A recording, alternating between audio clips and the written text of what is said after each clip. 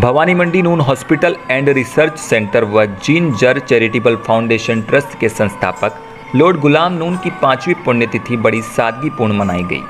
इस अवसर पर सभी नून स्टाफ व प्रशासन द्वारा उनके चित्र पर पुष्प अर्पित कर उन्हें याद किया गया। इस यादगार पल में नून हॉस्पिटल द्वारा नगर पालिका को मोक्ष वाहिनी रथ भेंट किया गया। नून हॉस्पिटल के संस्थापक लॉर्ड गुलाम नून एक ऐसी शख्सियत है जिन्होंने अपने देश ही नहीं बल्कि सात समंदर पार लंदन में भी अपनी अच्छाइयों का डंका बजाया है, जिसके फलस्वरूप लंदन की महारानी द्वारा सर्वप्रथम उन्हें सर्व, उसके बाद लॉर्ड की उपाधि से नवाजा गया था। झालावाड़ ज़िले के छोटे से कस्बे सुनेल में आज भी उनकी पैतृक संपत्ति मौजूद है। ये वही कस्बा है जहाँ उनका बचपन से ही लगाव रहा है। गौरतलब है कि सर नून का जन्म माया नगरी मुंबई में हुआ। जहाँ उन्होंने अपने पुश्तैनी मिठाई के कारोबार को आगे बढ़ाते हुए अपनी प्रारंभिक शिक्षा हासिल की। सत्तर के दशक में नून कुछ कर गुजरने के जुनून को अपने मन में समेटे हुए लंदन के सफ़र पर निकल पड़े। जैसा कि आपको हम बताते हुए आ रहे थे कि अभी फ़िलहाल हम पहुँचे हैं सुनेल कस्बे में। वो कस्बा जहाँ पर नून साहब का परिवार रहता था और नून साहब के परिवार के काफ़ी लोग भी यहाँ रहे और उन्हीं के परिवार में से आज उनके भांजे जनाब कादर साहब बोरा साहब हमारे बीच में यहाँ हैं। हम उनसे भी बात करेंगे और जानेंगे कि किस तरह से इन्होंने ये जो रिश्ते निभाते हुए आ रहे हैं, आज एक परिवार यहाँ था, वो आज वो परिवार बॉम्बे में शिफ्ट हो गया। और बॉम्बे से किस तरह से नून साहब लंदन गए, पूरी जानकारी हम जानेंगे कादर भाई की जुबानी। बोरा साहब, जिस तरह से ये आपसे जानूँगा कैसे यहाँ नून साहब का जन्म हुआ या नहीं हुआ कैसे उनका परिवार यहाँ से बॉम्बे गया?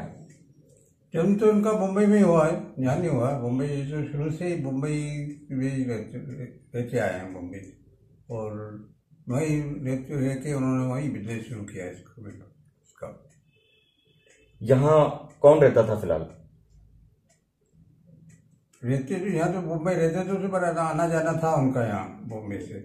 जैसे नून साहब के जो दादा पड़ दादा थे वो दादा उनका वैसे उनका वचन सुनेली है उनके दादा वादा का।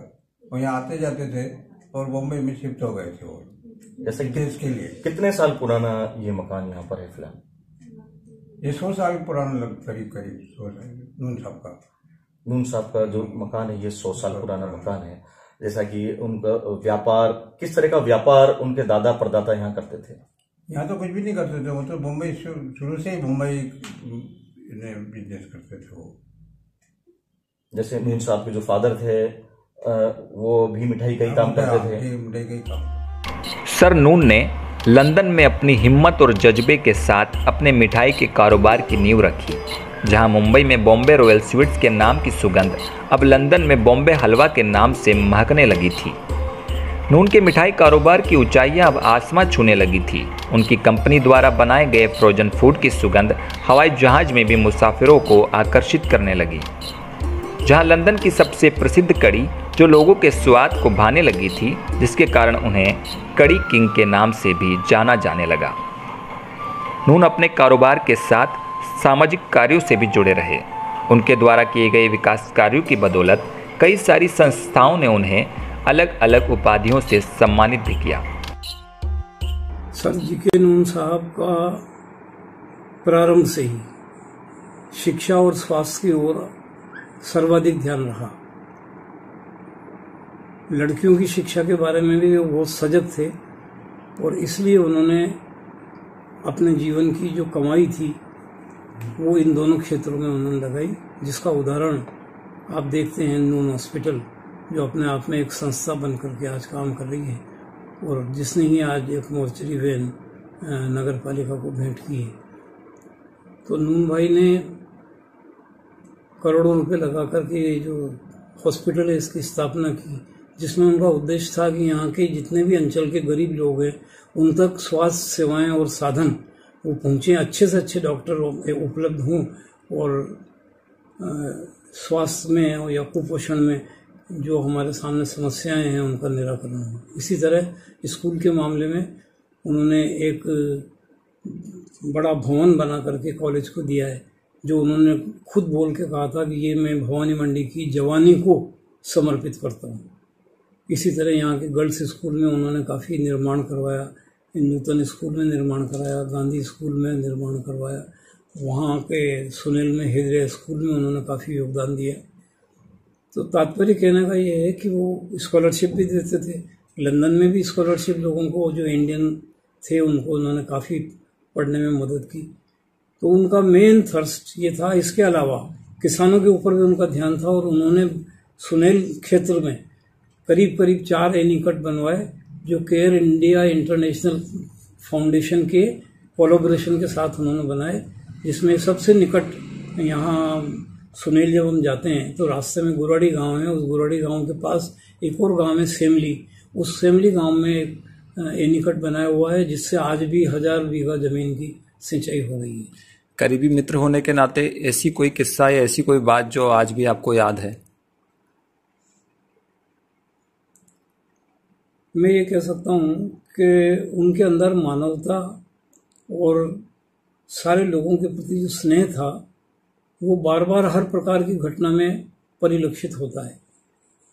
और इंग्लैंड में उनसे मिलने के लिए लोगों को एंगेजमेंट पहले लेना पड़ता था टाइम लेना पड़ता था और तब जाके उनकी मुलाकात हो सकती थी। लेकिन भारत में छोटे से छोटा आदमी, गरीब से गरीब आदमी के लिए उनके दरवाजे खुले थे। वो हर एक की बात सुन करके वो उसका निराकरण करने की कोशिश करते थे। तो मेरे सामने ऐसे कई मौके आए जब कई कॉमन आदमी आकर के उनका 20-20, 25-25 मिनट तक उनको अपनी समस्या सुलझाते। वो मैं कहता हूँ भाई लिख के दे दो। तो वो कहते नहीं किसान की गरीब की पूरी बात सुननी चाहिए। इस तरह से उनके अंदर एक मानवतावादी उनका हृदय था और उन्होंने यहाँ के कम से कम यहाँ भवानी मंडी और इस अंचल के लोगों को भरपूर प्यार दिया। भरपूर पैसा दिया और शिक्षा और स्वास्थ्य की उन्नति में उन्होंने भारी योगदान दिया। सरनून ने लंदन में रहते हुए भी अपने वतन व सरजमी के लिए बहुत कुछ किया, जहाँ उन्होंने महात्मा गांधी की नीलाम हो रही पत्रावली को अपने साथी मित्र के साथ खरीद भारत सरकार को सौंप देश के प्रति अपना कर्तव्य निभाया। सरजमी के प्रति प्यार यहाँ भी नहीं थमा, तब सरनून ने अपनी मातृभूमि के लोगों को एक नई सौगात देने का निर्णय लिया। 4 अप्रैल 2008 ये वो दिन था जब सरनून ने भवानी मंडी में नून हॉस्पिटल की स्थापना की, जहाँ लगभग दो एकड़ ज़मीन पर सर्व सुविधाओं से युक्त विशाल चिकित्सालय बनाया गया। उनकी रुचि हमेशा से स्वास्थ्य, शिक्षा व खेल पर रही। नून साहब को बचपन से ही क्रिकेट का शौक रहा है। जिसे देखते हुए नून परिवार ने उनकी याद में नून क्रिकेट अकादमी भी खोली। खाला साहब जैसे कि आज नून साहब की पांचवी पुण्यतिथि मनाई गई किस तरह से उन्होंने यहाँ शुरुआत की और आज इस जगह पर हम पहुँचे? सबसे पहले राहुल जी मैं आपको बताना चाहूँगा कि सन 2008 में इस हॉस्पिटल की स्थापना हुई। माननीय मुख्यमंत्री वसुंधरा राजे ने दुष्यंत जी ने इसका उद्घाटन किया। सर्वी लोड नून की एक बहुत बड़ी इच्छा थी कि इस क्षेत्र में सुनेल और भवानी मंडी के बीच में मैं स्वास्थ्य और शिक्षा के क्षेत्र में ऐसा काम करूँ जो अजर और अमर हो जाए। और आज इस अस्पताल को हम 12 साल बाद देख रहे हैं तो उनका नाम अमर ही हो गया है। लेकिन आज उनकी पांचवी पुण्यतिथि पर हम उनको मिस कर रहे हैं। लेकिन उनकी जो पुत्री है, जीनत नूर हन्नाल, जो मैनेजिंग ट्रस्टी है, साथ ही जो वो ट्रस्टी हैं, आमिर भाई, इस्माइल भाई, आरिफ भाई और हमारे स्थानीय वकील साहब कुलदीप जी अरोड़ा और हमारे जो नेफ्रोलॉजिस्ट हैं जतिन जी कोठारी हैं ये जो टीम बनी हुई है हमारी जो मैनेजिंग ट्रस्टी ये हमारे इस हॉस्पिटल के लिए दिन रात अपनी मेहनत करती है दिन रात अपनी सोच बनाती है। अभी जैसा कि ये कोरोना काल चल रहा था इसके तहत अभी जब इनकी पांचवी पुण्यतिथि की बारी आई तो एक डिस्कशन हुआ मीटिंग में तो उसमें ये निर्णय लिया गया कि भाई यहाँ पर कोरोना के लिए क्या किया जाए। तो मास्क भी हम बांट रहे हैं सैनिटाइजेशन भी हम कर रहे हैं दूरी भी हम रख रहे हैं इलाज भी कर रहे हैं। लेकिन उसके तहत भी एक भानी मंडी शहर को क्या यूनिक दिया जाए? तो जब चर्चा हुई तो ऐसा लगा कि भाई अभी जब कोरोना में मृत्यु हो जाती है तो लोग वो शव को ले जाने में बहुत से कतराते बहुत कतराते हैं कंधा देने में कतराते हैं। तो उस समय हमें मुक्तिधाम सेवा समिति हमारे दुर्गा जी ठेकेदार हम्म। और शंभूलाल जी ईओ साहब ने हम्म। और एसडीएम साहब से जब चर्चा हुई तो उन्होंने कहा भाई आप हॉस्पिटल ट्रस्टी से बात करिए। तो हमने उनसे बात करी और उन्होंने सहज हमको ये स्वीकार करके दे दिया कि भाई आप इसको शव वाहिनी मोक्ष वाहिनी है, जो कि हमारे वाहनी मंडी पूरे झालावाड़ ज़िले में शायद दूसरी है। इससे पहले एक झालावाड़ में दी जा चुकी है और वाहनी मंडी शहर को ये पहली सौगात मिली है। इससे ये होगा कि भाई लोगों को परेशानी नहीं आएगी और सारी जाति, सारी धर्म, सारे वर्ग के लिए है वो, किसी एक के लिए नहीं है। और भानी मंडी शहर को हमने ये नई सौगात दी है, हमारे ट्रस्टियों ने दी है। मैं उनका बहुत बहुत साधुवाद, धन्यवाद देता हूँ। आज नून हॉस्पिटल को लगभग 12 साल हो चुके हैं। छोटे कस्बे में लोगों को बेहतर स्वास्थ्य सेवाएँ मिल सके सर नून के इसी उद्देश्य को उनके जाने के बाद अब उनकी बेटी जीनत हरनाल नून बखूबी पूरा कर रही है। नून की इस बार पांचवी पुण्यतिथि मनाई गई। नून अब हमारे बीच नहीं रहे, पर आज भी ज़िंदा है तो उनकी महान सोच व उनके द्वारा किए गए सामाजिक सरोकार के काम। नून हॉस्पिटल, जो कि आसपास के क्षेत्र में अपनी अमूक छाप छोड़ रहा है। जैसा कि जो हॉस्पिटल यहाँ बना हुआ है ये पूरा सुसज्जित तरीके से और यहाँ पर हर सुविधा मरीजों को मुहैया हो रही है। नून साहब की आज पांचवी पुण्यतिथि थी। इस पांचवी पुण्यतिथि के अवसर पर नून हॉस्पिटल हर कार्य में अग्रणी रहा है और हर क्षेत्र में अग्रसर भी रहा है। इसी के चलते आज नून साहब की पांचवी पुण्यतिथि पर नून प्रशासन ने मोक्ष वाहिनी रथ नगर पालिका को भेंट किया है। नून साहब का एक सपना था कि शहर में कुछ ऐसा करके जाए जिससे लोग उन्हें याद रखें। वो ऐसी हस्ती थी जो हमेशा के लिए अमर हो गई और आज वो मरे नहीं, लोगों के दिलों में ज़िंदा है। हम बात करेंगे नून हॉस्पिटल के वाइस प्रेसिडेंट के घोष सर से। जानेंगे कि किस तरह से सर को इतना समय या भवानी मंडी में हो गया। उस समय से किस तरह के माहौल यहाँ रहे, कैसे हालचाल यहाँ रहे, और किस दौर से ये हॉस्पिटल गुजरा, और आज जो बेहतर सेवा ये हॉस्पिटल दे रहा है, उनमें क्या क्या भूमिका रही? सर। मैं पहले आप लोगों को धन्यवाद देना चाहता हूँ कि आप लोग ने ये नून अस्पताल का जो हर वक्त आप लोग नून अस्पताल का साथ रहे, और आज लॉर्ड नून का पाँचवीं डेथ एनिवर्सरी है। इस दिन भी आप लोग ने आए और हमारा अस्पताल जो जो कार्य कर रहा है उसका सबका सबका सामने आप पहुँचाने का कोशिश की है। आप लोग को ये बताना चाहते हैं कि आज का, आज ये सर का जो पुण्यतिथि है, पाँचवा साल, ये कुछ यूनिक है। इस बार हमारा जो ट्रस्टी है जिंजर चैरिटेबल फाउंडेशन ट्रस्ट का, मेरा, हमारा लॉर्ड नून का बड़ी सुपुत्री, हमारा मैनेजिंग ट्रस्टी जिन्नत नून हरनाल ने डिसाइड किया कि हम लोग कुछ एक ऐसा कुछ यूनिक काम करें कि ये जो नून साहब का जो सोच है, जो ये अस्पताल का सोच था, वही सोच को थोड़ा सा और एक्सटेंड करें। तो वो एक्सटेंशन का तरफ़ नगर पालिका का साथ नगर पालिका के साथ हम लोग का बातचीत चल रहा था तो नगर पालिका का एक रिक्वायरमेंट था कि एक मोक्ष वाहिनी ये भवानी मंडी क्षेत्र के लिए है नहीं। अभी ये कोरोना काल में देखा जा रहा है कि कोई अगर पेशेंट कोई अगर किसी का देहांत हो जाता है, बहुत दुखकार, बहुत दुखदायक चीज़ है किसी का देहांत। तो कंधे देने वाला आदमी भी साथ छोड़ देता है। तो आप वाहन तो छोड़ ही दीजिए।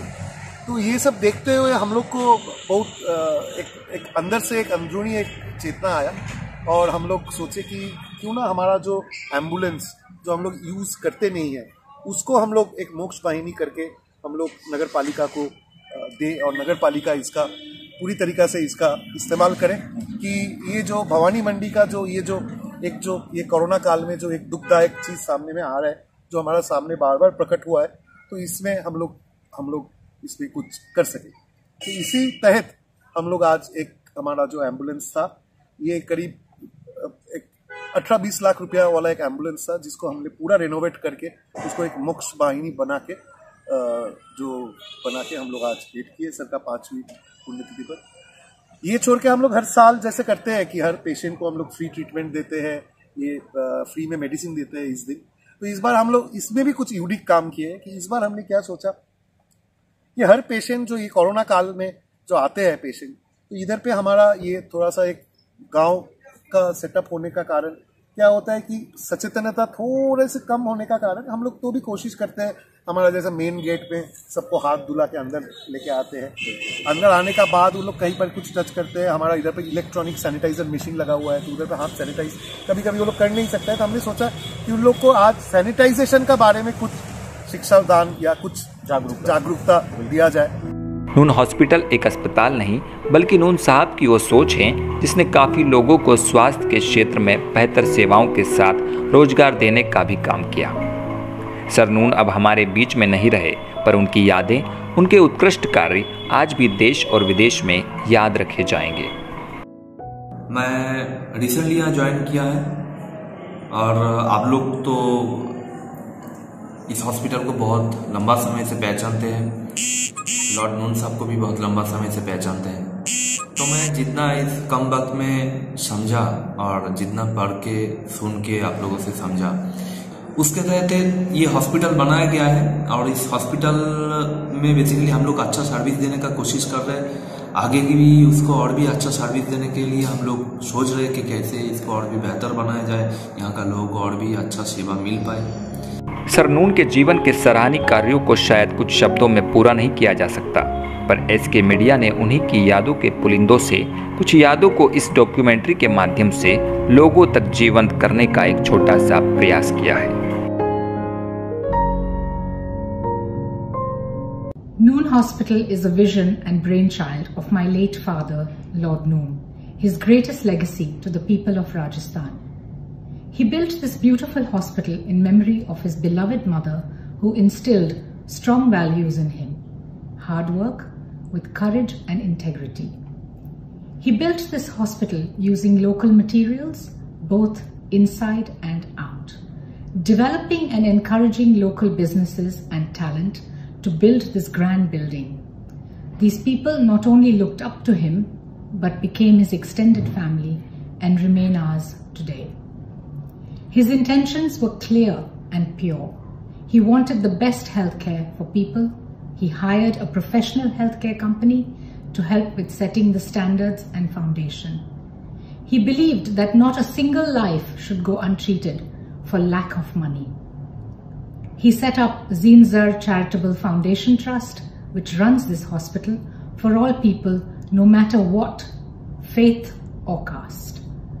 His sayings, hands that help are holier than lips that pray. So true. He believed in, in having good, loyal doctors and staff who would have the same values and principles to be able to look after and cater to all patient needs. He was a man who always gave back to society and never expected anything back in return. A very kind hearted, generous, humble, and good human being. I remember an incident just weeks before his passing when all he wanted to do was come to Noon Hospital and his beloved Rajasthan. You could say this was his last wish. Sadly, it was not meant to be. Today, we take this greatest legacy forward and provide the same excellent and accessible healthcare to the ones who need it the most and where people's health is the top priority. The work Noon Hospital does is of great importance at any time, but especially now in this pandemic by looking after so many of our patients and giving them the support and help they need. We trustees are totally committed to supporting our patients, doctors and staff through these really challenging times. People's health comes first. He taught me hard work always pays and he never gave and never ever give up on your dreams.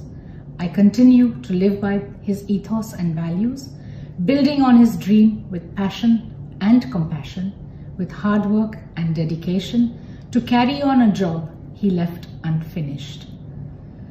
This is now my journey, along with my supportive trustees, to keep the Noon legacy alive. No doubt we will face many challenges and there will be certainly good times too. I know my Father is watching over us and showering his blessings.